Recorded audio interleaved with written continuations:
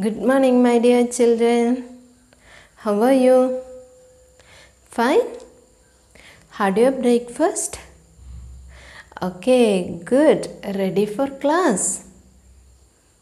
Ready? Okay, shall we start? Okay, children, today is our Malayalam class മലയാളത്തിന്റെ ക്ലാസ്സിലേക്ക് teacher കുഞ്ഞുങ്ങളെ എല്ലാവരെയും സ്വാഗതം ചെയ്യുന്നു ഓർമ്മിക്കുന്നുണ്ടോ കുഞ്ഞുങ്ങളെല്ലാവരും നമ്മൾ ഏതാ ഇപ്പോൾ പഠിച്ചുകൊണ്ടിരിക്കുന്നതെന്ന് ഓർമ്മിക്കുന്നുണ്ടോ മലയാളത്തിന്റെ? മലയാളത്തിന്റെ ഏത് അക്ഷരങ്ങളാണ് നമ്മൾ പഠിച്ചുകൊണ്ടിരിക്കുന്നത്? വ്യഞ്ജനങ്ങളല്ലേ? വ്യഞ്ജനാക്ഷരങ്ങളാണ് നമ്മളിപ്പോൾ പഠിച്ചുകൊണ്ടിരിക്കുന്നത്. വ്യഞ്ജനാക്ഷരങ്ങളിൽ ഏതക്ഷര ലാസ്റ്റ് ക്ലാസ്സിൽ പഠിച്ചേ? ലാസ്റ്റ് ക്ലാസ്സിൽ കാ പഠിച്ച ശേഷം കായും കൂടി പഠിച്ചു അല്ലേ? കാ കണ്ണ് കാ കലം പഠിച്ചു. ശേഷം കാമുഖം ഖ ശംഖും പഠിച്ചു അല്ലേ?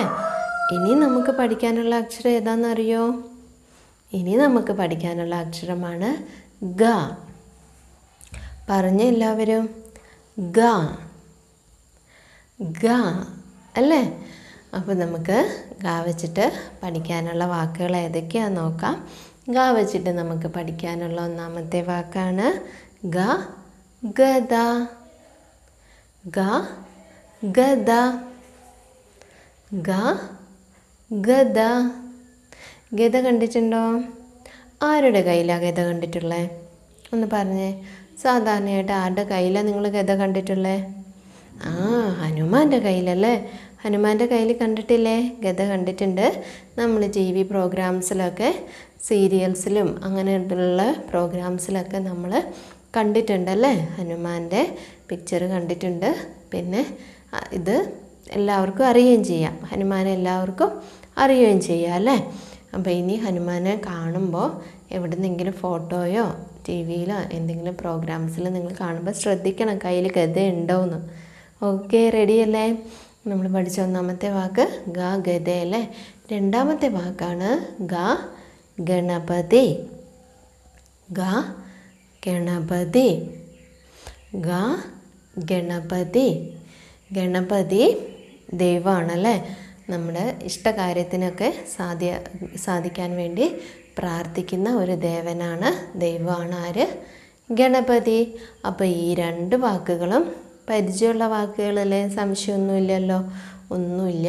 അപ്പം നമ്മൾ പഠിച്ച രണ്ട് വാക്കുകളാണ് ഗ ഗത ഗ ഗണപതി. അല്ലേ? അപ്പം നമുക്ക് ഈ ഗായൊന്ന് എഴുതാനും കൂടി പഠിക്കണ്ടേ? സിമ്പിളാണ് ടീച്ചർ ബോർഡിൽ എഴുതി കാണിക്കുക. എല്ലാവരും ബോർഡിലേക്ക് ശ്രദ്ധിച്ചിരിക്കുക. ടീച്ചർ ഇവിടെ ഗായ എഴുതാൻ പോവുകയാണ്. ഗായ എഴുതുമ്പോൾ ശ്രദ്ധിക്കുക. ഉള്ളിൽ നിന്ന് എപ്പോഴും സ്റ്റാർട്ട് ചെയ്യാം ഇതാണ് ഗ. മനസ്സിലായോ? നോക്കുക. മുകളിൽ നിന്ന് സ്റ്റാർട്ട് ചെയ്യുന്നു. താഴെ വന്ന് നമ്മൾ സ്റ്റോപ്പ് ചെയ്യുന്നു. ഒരിക്കലും താഴെ നിന്ന് സ്റ്റാർട്ട് ചെയ്ത് പോകരുത്. പെൻസിൽ പിടിക്കുമ്പോൾ നിങ്ങൾ മുകളിൽ നിന്ന് എഴുതി വന്ന് തുടങ്ങുക. ഗ. ശ്രദ്ധിച്ചാൽ മാത്രം മതി വിഷമമൊന്നുമില്ല. ഗ. ഗ. അല്ലേ? സിമ്പിളല്ലേ സിമ്പിളാണ് ഒന്ന് ശ്രദ്ധിച്ചൊന്ന് വളച്ചെഴുതിയാൽ മാത്രം മതി. ഗ. മനസ്സിലായില്ലേ? മുകളിൽ നിന്ന് സ്റ്റാർട്ട് ചെയ്ത് താഴേക്ക് വരുന്നു. പിന്നെ വീണ്ടും മുകളിലേക്ക് പോയി വീണ്ടും താഴേക്ക് വരുന്നു. ഗ ഗത ഗ ഗണപതി. ഇപ്പം നമ്മൾ ഈ പഠിച്ച വ്യഞ്ജനങ്ങൾ നമുക്കൊന്ന് എഴുതി നോക്കാം. ഒന്നാമത്തത് കായായിരുന്നു അല്ലേ? കാ കണ്ണ് കാ കലവായിരുന്നു. രണ്ടാമത്തത് കാമുഖം മുഖം ഖാ ശങ്കായിരുന്നു പിന്നെ നമ്മളിന്ന് പഠിച്ച ഗാഗത ഗ ഗണപതി. മനസ്സിലായില്ലേ എല്ലാവർക്കും? സിമ്പിളാണ് ഒന്ന് പരിശ്രമിച്ചാൽ മതി. കുഞ്ഞുങ്ങളൊന്ന് എഴുതി നോക്കണം. ടീച്ചർ പറയുമ്പോൾ തന്നെ എഴുതി നോക്കണം. പിന്നത്തേക്ക് മാറ്റി വെക്കരുത്. നമുക്ക് നമ്മുടെ ടെക്സ്റ്റ് ബുക്കിൽ ഉള്ള വാക്കുകളൊന്ന് കണ്ടു നോക്കാം. ടെക്സ്റ്റ് ബുക്ക് എടുക്കുക എല്ലാവരും. ടെക്സ്റ്റ് ബുക്കിൽ നമ്മൾ കായും ഖായും പഠിച്ചു കഴിഞ്ഞു അല്ലേ? രണ്ട് വെച്ചിട്ടുള്ള വാക്കുകളും നമ്മളും പഠിച്ചു കഴിഞ്ഞു. നമ്മൾ പഠിച്ചതാണ് ഗ. എല്ലാം തൊട്ടിട്ടൊന്ന് പറഞ്ഞേ. ഗ. ഗ ഗദ പറ. ഗ ഗദ ഗ ഗണപതി. ഗ ഗദ ഗ ഗണപതി. ഗ ഗത ഗ ഗണപതി. മനസ്സിലായില്ലേ? സംശയമൊന്നുമില്ലല്ലോ. പറയാനൊക്കെ കിട്ടുന്നില്ല എല്ലാവർക്കും? സിമ്പിളാണ് രണ്ട് മൂന്ന് പ്രാവശ്യം ഒന്ന് പറഞ്ഞു നോക്കി മനസ്സിൽ ഉറപ്പിക്കുക ശേഷം ആദ്യം മുതൽ വാക്കുകൾ ഒന്ന് പറഞ്ഞു നോക്കാനും ശ്രദ്ധിക്കുക. അപ്പോൾ ഇത്രയും മതി ഇന്നത്തെ ക്ലാസ്സിൽ.